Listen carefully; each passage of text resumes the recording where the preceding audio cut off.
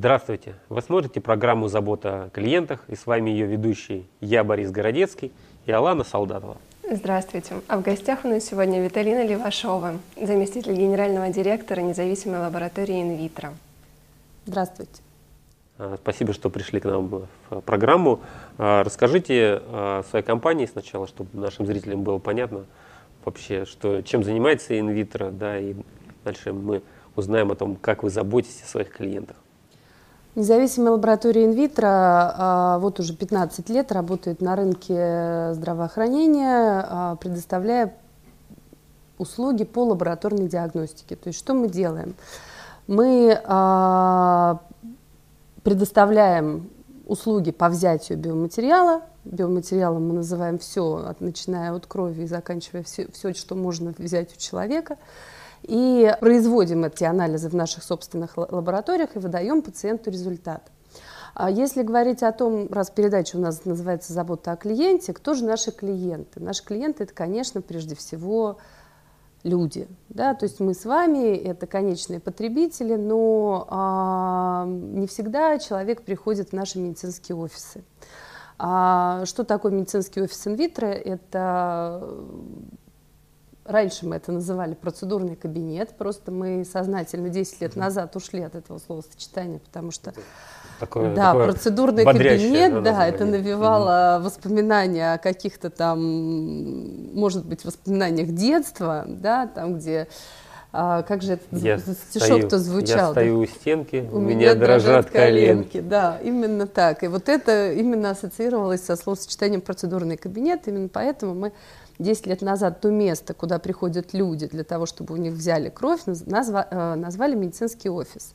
И таких медицинских офисов мы построили по э, России и Украине 450 штук. Мне кажется, что ваша компания одна из самых известных на рынке медицинских услуг. Спасибо Вы... большое. Мы э, тоже так считаем без ложной скромности, но а, здесь вопрос времени. Мы достаточно давно занимаемся этой работой и поэтому успели ровно столько, сколько успели. А если посмотреть назад в историю, то в 2001 году был пер... открыт первый медицинский офис в Москве на улице Никитской, то есть в самом центре Москвы.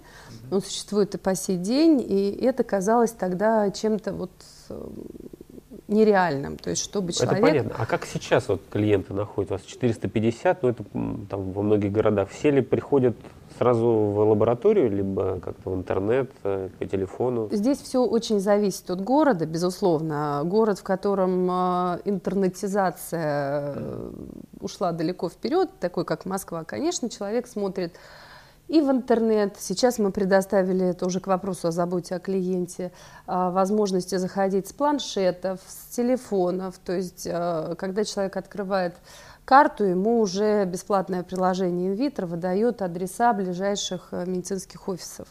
А, безусловно, это можно сделать не только в Москве, просто, естественно, в Москве этим пользуется большее количество людей. Мы существуем не только в крупных городах. А, на сегодняшний день по России более чем в 200 городах открыты медицинские офисы инвитро. Есть также даже такие форматы, которые называются инвитро-городок, то есть э, в малонаселенных э, пунктах, малонаселенных городах э, они представлены, то есть это, можно сказать, даже поселения и села, где э, численность э, не превышает 20 тысяч человек. Пациенты тоже могут воспользоваться нашими услугами, только там будет, скажем так, несколько иной формат, то есть там помещение гораздо меньше, но оно и понятно, население... Ну, это какой-то специальный проект, который вы делаете, что вот по предоставлению такого сервиса в малонаселенных городах? Конечно. Там же, ну, как-то насчет выгоды в этих Ну, местах? у нас, э, как я уже сказала, мы с 2001 года занимаемся, ну, назовем это грубо розницей, потому что по большому счету это розница и есть, это предоставление розничных услуг. И, э, естественно, стандартный вариант – это медицинский офис определенной площади, находящийся в, удобной э, доступности от, там, если это крупный город, от метро, если это не крупный город, то от остановок общественного транспорта, э, площадью от 70 метров, да, и так далее. Да, не будем сейчас даваться в подробности. Но э, после того, как мы поняли, что клиентам, пациентам нужно несколько больше, да, в некоторых случаях мы стали открывать э, врачебные кабинеты, и это у нас направление инвитро лечу. Да? Mm, понятно, то есть клиника. Да, мини-клиника, то есть там предоставление услуг нескольких, врачей нескольких специальностей. А потом появился проект «Инвитро-городок». Да, это вот то, о чем мы говорили, в небольших населенных пунктах, где открытие полномасштабного а, медицинского офиса инвитро нецелесообразно, прежде всего экономически, конечно. Мы открываем небольшие процедурные кабинеты, это именно процедурный кабинет, то есть там мы не найдем ни врача-гинеколога, ни врача ультразвуковой диагностики. То есть по факту вы конкурируете с традиционными лечебными учреждениями, да, такие как поликлиники? А если говорить о стандартном формате инвитро, то нет. Если мы говорим о формате инвитро лечу, то, безусловно, некоторая конкуренция медицинским центрам есть. Виталина, а вот если это исходить от клиента, как вы это определяете, когда вот вы предоставляете сервис лечу, когда вы не предоставляете? То есть вот за что вас любят клиенты, за что вас выбирают, как вы эти потребности определяете, и вот ну и, соответственно, предоставляя вот такие сервисы, про которые вы говорите. Мне кажется, что ответ на этот вопрос лежит в нашем названии. Мы называемся независимая лаборатория инвитро. Это название обуславливает нашу основную а, основной принцип нашей деятельности, что мы не зависим ни от кого, ни от чего. А, мы исключительно выдаем информацию по тем параметрам, которые хочет знать пациент. Мы не назначаем лечение, мы э, не ставим диагноз, но проект «Лечу» появился тогда, когда у нас появилось достаточно много э, желающих клиентов, желающих, чтобы э, какие-то вопросы, связанные с лечением, все-таки мы закрывали. Но какие-то вопросы, это вот, похоже на понятие, которое существует на Западе, консьерж-медицина, да, то есть что какой диагноз, куда мне дальше пойти лечиться. Да? И э, таким образом мы сформировали небольшой пул, будем так называть, э, медицинских центров. Небольшой, потому что, еще раз повторю, это не наша основная специализация. Наша основная специализация – это предоставление розничных услуг по лабораторной диагностике. В центрах лечу представлены врач-терапевт, врач-гинеколог, э, к счастью или к сожалению, ну, для демографической ситуации в стране, конечно, к счастью, специальность, которая пользуется большим спросом. А, и так далее. Не будем сейчас вдаваться в подробности. То есть это то, что... То, что ваши клиенты вам рассказали, что они хотят. Вот как они это сделали, вот если возвращаться к клиентам? У вас mm-hmm. есть единый центр, в который поступают все обращения клиентов и где есть вся информация по тому, как они угу. обслуживается у вас. А, это так? Я поняла. У нас, безусловно, все это обрабатывается централизованно, а каналы, по которым это к нам поступает, их достаточно много, естественно, особенно сейчас, в 21 веке. Прежде всего, это, конечно, интернет. А, интернет а, во всех его проявлениях, это и наш сайт, который на сегодняшний день является очень большим потоком входящей информации, то есть он перерабатывает очень большой поток информации, потому Сколько что примерно, то есть если обращение посетителей ну, сайта да. 45 тысяч 45 посетителей в день. Угу. А, к счастью, нам удалось наладить контакт с аудиторией, и очень многие оставляют пожелания, а, будь то жалобы, будь то позитивные отклики или предложения. Вот так мы получаем предложение. Как вы с этим работаете в дальнейшем? А, вот, вот, с жалобами. А, про жалобы сейчас отдельно расскажу. Сейчас закончим про то, как мы узнаем, что нужно пациентам. Также мы получаем а, информацию от пациентов через наш колл-центр. Безусловно, когда пациенты звонят, они, кроме того, чтобы узнать а, то, что, то, зачем они позвонили, они оставляют еще какие-то пожелания. Мы тщательно следим за тем, чтобы эта информация не уходила в песок. Как? Давайте вот про технологию. А... Это есть какое-то специальное место? Как вы это делаете? Ну, безусловно, мы э, ведем запись всех телефонных разговоров и э, делаем выборочные проверки. Да? А для записи пожеланий пациентов, которые звонят на горячую линию или по другим телефонам, безусловно, есть форма, которую заполняет оператор и потом передает а, ну, в данном случае в отдел маркетинга, отдел маркетинга разрабатывает или новый продукт, или какой-то новый профиль. Мы же для пациентов упаковываем наши продукты в профиле, чтобы было понятнее, что для чего нужно. Это здорово, что вы сделали такое специальное место для людей, которые принимают звонки, где можно рассказать вам о том, что клиенты хотели от вас. А колл-центр у вас, э, вот этот центр, это ваш собственный? Первая линия входящих звонков у нас на аутсорсинге. Безусловно, более сложные вопросы перенаправляются в группу, которая это такая специ, специальной подготовки, которая знает ответы на все вопросы. Но, безусловно, дальше они распределяются по компании, по глубине э, ну, и вот по специализации. Просто у нас много есть примеров э, из практики, где компании, собственно, придерживаются двух моделей, либо, например, все на аутсорсинг да, целиком, либо же наоборот э, инсорсинг, да, in-house call-центр, да, у вас вот такая вот модель, где вы распределили? Ну, если говорить Почему по количеству именно? входящих звонков, то все-таки 80% остается во внешнем колл-центре, а 20% переходит внутрь. То есть э, и распределили мы так потому, что, а, опять же, мы занимаемся тем, в чем мы хорошо разбираемся, а научиться хорошо разбираться в колл-центре это целое дело, поэтому мы отдали... Не соглашусь, здесь же работа с клиентом, первая линия, как вам вот удается, даже вопрос корпоративной культуры, да, вот то, чтобы... Мы э, участвуем в подборе операторов вот, как это? Эм, наши специалисты выезжают в случае необходимости взять э, или поменять того или иного оператора во внешнем колл-центре. Специалисты выезжают э, во внешний колл-центр и общаются с тем претендентом, которого, естественно, уже выбрал потенциального претендента внешний колл-центр. И если мы говорим, да, окей, это наш человек, то он проходит обязательную подготовку нашими специалистами, потому что все-таки даже первый отсев звонков э, все равно очень много специфики, потому что медицина это достаточно а, много сложных вопросов даже на первой линии. Это очень интересная тема. У меня есть вопрос, который, Виталина, я задам вам после. А сейчас, дорогие друзья, рекламная пауза. Мы вернемся к вам через несколько минут.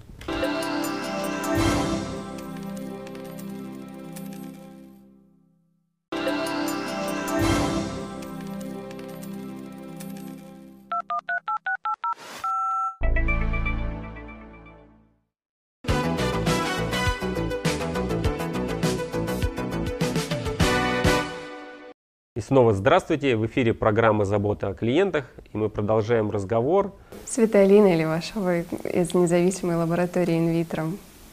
Было очень интересно. Вначале вы рассказали про особенности своей компании. И вот мы закончили на как раз вопросе про то, как вы обучаете сотрудников, как вы с внешним колл-центром справляетесь со своей работой с клиентами. Ну, в данном случае э, я не вижу необходимости употреблять слово «внешний», потому что сотрудники, которые юридически работают в инвитро или не работают в инвитро, э, в данном случае это не важно. Мы в любом случае обучаем всех. У нас есть э, внутренний учебный центр, который существует уже 6 лет – в прошлом году мы даже получили образовательную лицензию, чем подтвердили свои высокие стандарты в области обучения. И через а, обучение в этом учебном центре проходит каждый сотрудник, а, будем это называть, фронт-офиса, того подразделение, которое работает с пациентами. То есть у вас есть прям отдельные специалисты, которые занимаются обучением именно вот э, фронт-офиса? Конечно, обязательно. И сколько оно длится, это обучение? А, если мы говорим, э, опять же, много специфики. А, регионы э, у нас есть разные, даже очень удаленные. Я сейчас не говорю про Хабаровск, Владивосток, они удаленные по, а, скажем так, километражу, но в них достаточно просто добраться нежели в города, которые находятся где-нибудь в тундре. Я сейчас не буду блистать знаниями географии, а, но был у нас случай, когда специалист по обучению добирался больше суток на трех видах транспорта для того, чтобы научить людей стандартам работы в инвитро. Поэтому, если мы обучаем в Москве, то обучение занимает две недели. Если вы, мы выезжаем на место, это обучение занимает чуть больше недели в зависимости от сложности там не буду э, грузить вас сложными терминами при аналитике и так далее. Но там а, будущие сотрудники трудятся от, от рассвета до заката, постигая азы обслуживания клиентов инвитро, потому что помимо, скажем так, этикета есть еще и стандарт работы, который заключается в определенных процедурах. Это и работа mm-hmm. с программой, это и работа с биоматериалом, то есть все тонкости работы нужно... Собственно, один вопрос — это как обучить персонал, да, а другой — это как проконтролировать то, что они придерживаются этих требований и исполняют их. Вот здесь какие вы инструменты используете? У нас э, есть, э, не побоюсь этого слова, триумвират. Это сотрудники, три подразделения. Сотрудники, которые обучают персонал, сотрудники, которые изо дня в день управляют всей сетью, и э, группа особого реагирования, так называемая, которая занимается а, проверками контрольными, э, контрольными закупками и проверками э, медицинских офисов. И проверки эти, э, они, они очень, они регулярно проводятся. Ну, если говорить о сети, да, то есть за год мы проводим порядка 600 проверок, это означает, что ну, 1.25 проверки на, на медицинский офис приходится в год. В год то есть, да? а, чуть чаще, чем раз в год, но при этом проверки бывают разные. Они бывают как плановые, так и внеплановые. Они бывают с предупреждением, они бывают без предупреждения. То есть мы а, тренируем людей быть готовыми в любой момент времени обслуживать пациентов по высшему разряду, вне зависимости от того, ждут они проверку или не ждут.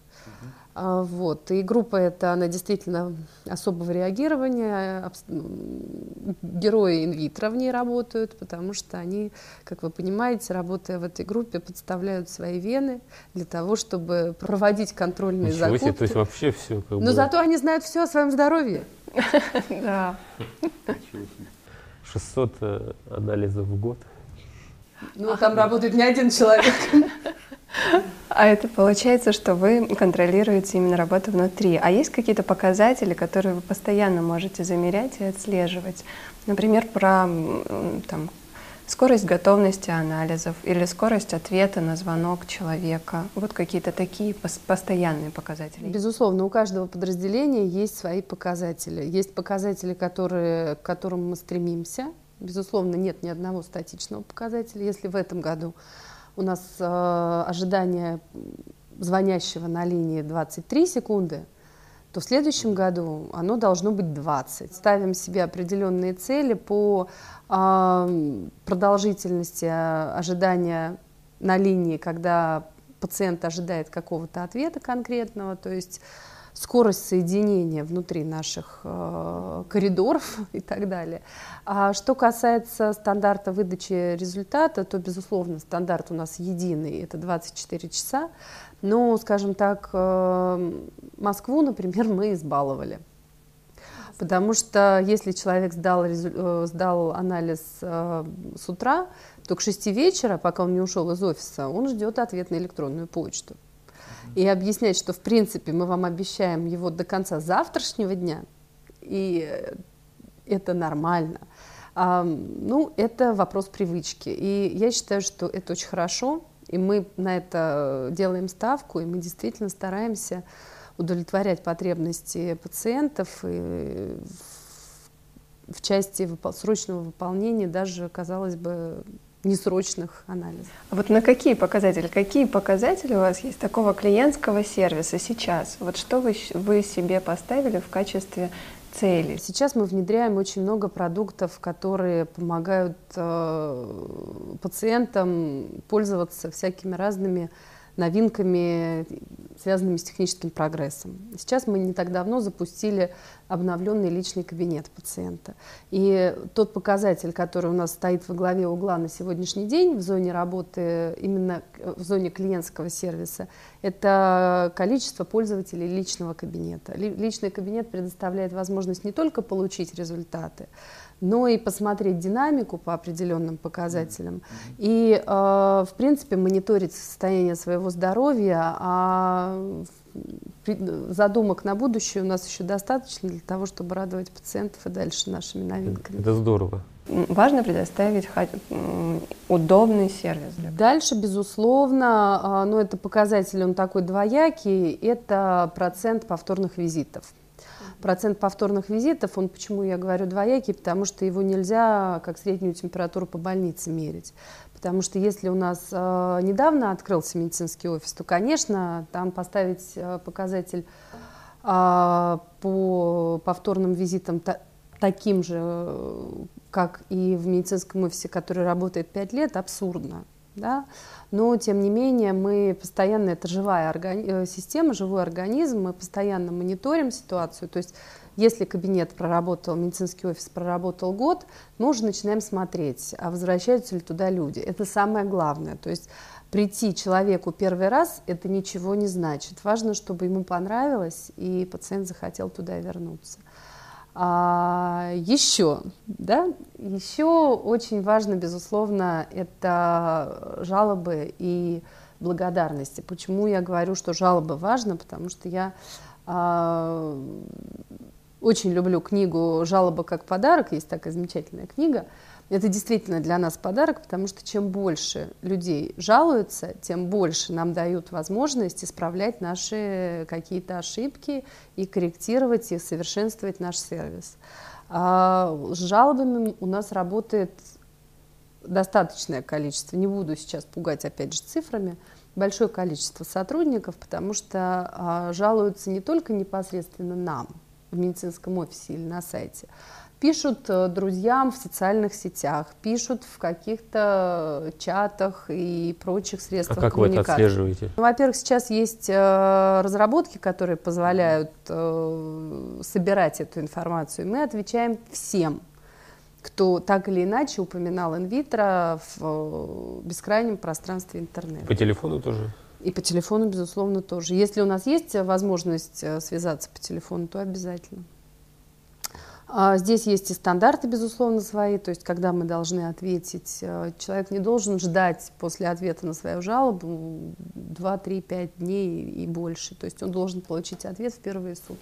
А это вот делают ваши сотрудники внутренние или того партнера, это, с которым безусловно, вы наши сотрудники. Более того, отбор в эту службу еще более тщательный, потому что это должны быть сотрудники, достаточно долго проработавшие в компании, безусловно, абсолютно лояльные, понимающие, а, для чего мы это делаем, и не занимающиеся отписками, что тоже очень важно. Виталин, а вот э, всего, чтобы тоже так понимать, сколько у вас людей обрабатывают первую линию? Первую линию, если вы говорите внешний колл-центр, я сейчас затрудняюсь вам сказать, э, ну, 50, в районе 50, я думаю, да. Угу. И э, вы говорили про то, что вы их обучаете, вот этих сотрудников, вы их контролируете за счет проверок, за счет каких-то показателей, которые установлены внутри колл-центра. А есть какие-то мотивирующие? Ну, вы знаете, я бы все-таки сейчас отошла от вопроса э, работы с колл-центром, с внешним, потому что, безусловно, это прежде всего договорные отношения с э, этим провайдером. И основная, скажем так, стимулирующая программа это, да, это на стороне работодателя, потому что мы можем многое, но не все. Да? Конечно, мы хотим, чтобы у нас э, на звонок э, отвечали «Здравствуйте, независимая лаборатория инвитро, чем я могу вам помочь?» Отвечали хорошо, красиво и правильно, но все-таки э, мы специально и отдали это на аутсорсинг, доверив партнеру эти вопросы. А я думаю, что все-таки оставили мы себе гораздо более важные. Понятно. Тема интересная, о многом мы еще не поговорили, но время у нас, к сожалению, неумолимо бежит э, к завершению, поэтому я попрошу, Виталина, вас сформулировать три правила заботы о клиентах от лаборатории инвитро. Наверное, первое правило – это мы должны относиться к персоналу так, как хотим, чтобы персонал относился к нашим клиентам. Это основное правило, которое у нас в компании есть. То есть чем больше мы будем вкладывать э, в сотрудников, тем больше они нам отдадут в плане э, общения с пациентами, потому что это важнее всего. Второе правило. Э, мы действительно считаем себя во многом первопроходцами, и для того, чтобы нам ими оставаться, нам нужно всегда быть на шаг впереди. Поэтому в заботе о клиентах мы всегда должны предвосхищать желания клиента и их реализовывать. То есть человек еще только подумал, а мы уже сделали. И э, третье... Мне кажется, что этих двух уже достаточно. Наше время уже прям вышло. Спасибо вам большое, Виталина. Спасибо вам. Спасибо. Вы смотрели программу «Забота о клиентах». У нас в гостях была Виталина Левашова. Вели программу Борис Городецкий и Алана Солдатова. До свидания.